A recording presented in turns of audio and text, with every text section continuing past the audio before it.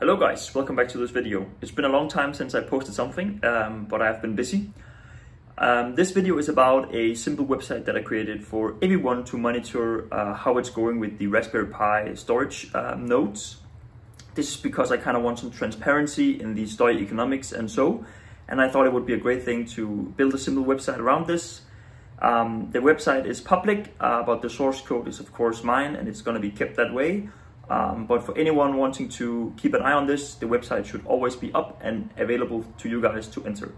Let's dive straight into it and have a look at the website.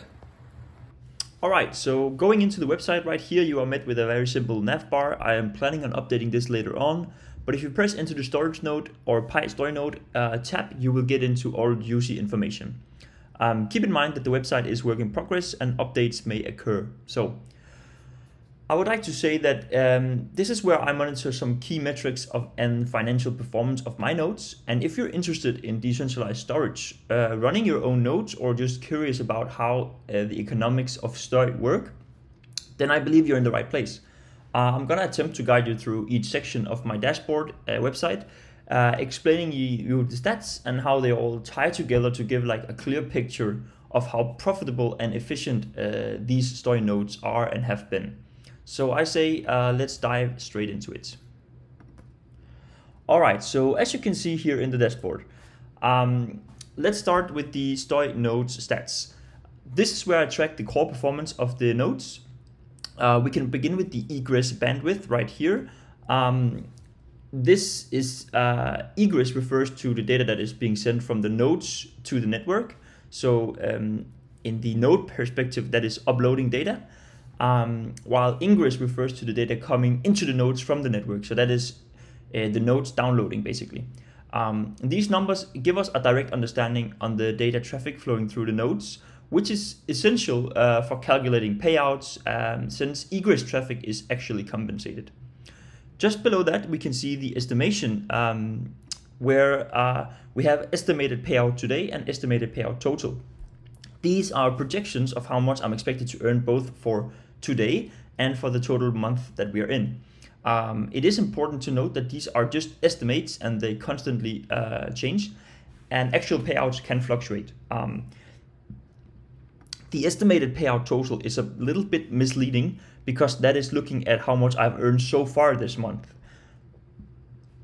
So if you can see, um, I wrote estimated and maybe I should change that in the future, but this is expected to be going up. Uh, today is the 10th of September recording. So that means um, in the last 10 days, the node has made an estimated profit of $8.25. All right, let's go to the next section. So here in the next section, we have uh, nodes online and total nodes count. Um, this shows how many of my nodes are active and online uh, and running multiple nodes can help uh, distribute uh, the data that's coming in um, and perhaps also increase your overall earnings. Uh, keep in mind power usage, of course. Um, now, uh, we also have the storage stats that you can see here uh, with the pie chart. Pie chart. this pie chart below is a simple but effective way to visualize how much data uh, my storage is uh, using. Um, it's great to have available so I can see it grow and it's nice to have a visualization. As you can see, I currently have uh, 12.32 uh, terabytes out of uh, 63 ter terabytes available across all my nodes. Um, and the more storage I offer to the network, the more data I can host, which basically has uh, saying in how much I can potentially earn. Now you can see that I um, have made a calculation that I am gonna need uh,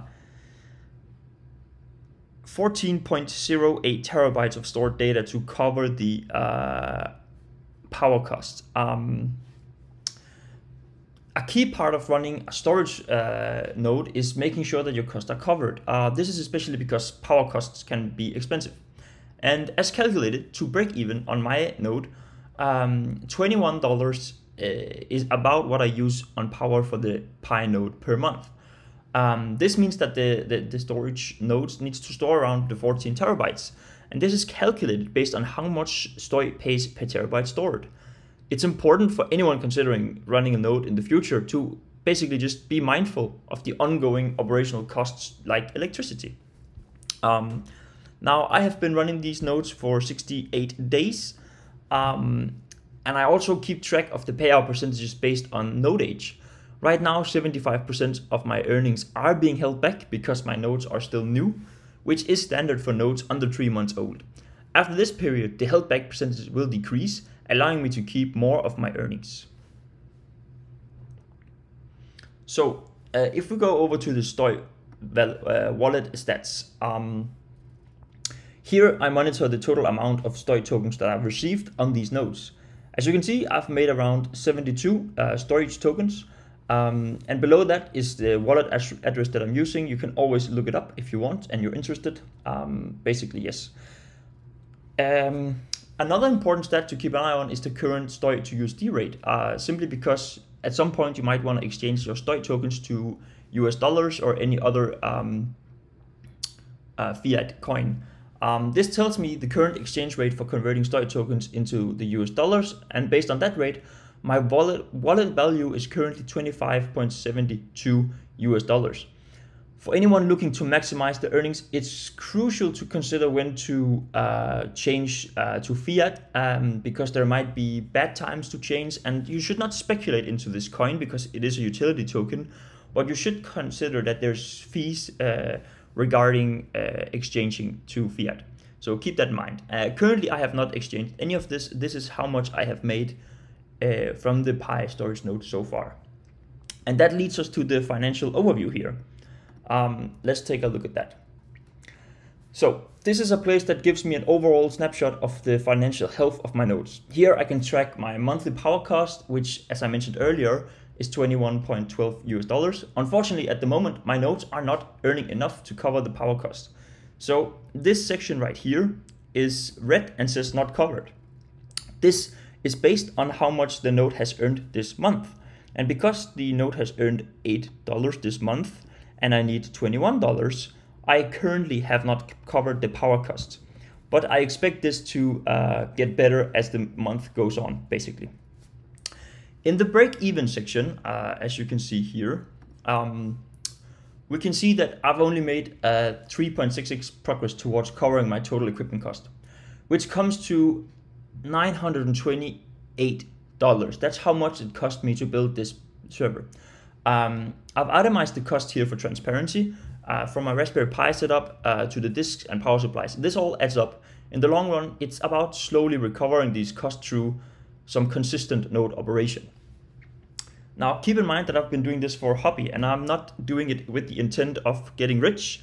I think it's a lot of fun to manage storage nodes and I've learned so much from it and I continue to want to do it my goal is definitely for the equipment and the power to be paid in full. And I do believe that at some point this will turn and get better. And that's why I made this website. That's so you can monitor it as well and keep an eye on it. Um, one of the most crucial stats is the total return on investment, ROI. Uh, this is where I track my total earnings after power costs, uh, if they're positive or negative. Currently, I'm actually at a loss of 13.9 USD. Uh, but I believe as the months progress and the held back percentages decrease, decrease, I do expect this to basically improve. That pretty much wraps up um, my website. Now I have linked some videos down here of the initial build of the 12 one terabyte one that was then upgraded to the 72 terabyte um, server that we're looking at right now. The 72 terabyte did come out to 63 uh, Storj usable terabytes. As you can see, there's a lot to consider when running, running some Storj nodes, uh, from bandwidth and storage use to the power costs and the wallet tracking. I believe it's essential to stay on top of these metrics to ensure that your node uh, do remain profitable over time.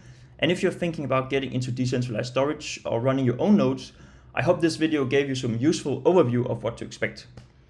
If you liked it, uh, please don't forget to give it a like or subscribe and do comment if you have any questions or you want to see more updates. Now, regarding updates, I am planning on updating both the uh, website here. I already have some additions I want to add to it or some changes. And I also am looking to perhaps make uh, further videos on the uh, Raspberry Pi storage node. Thank you guys so much for watching.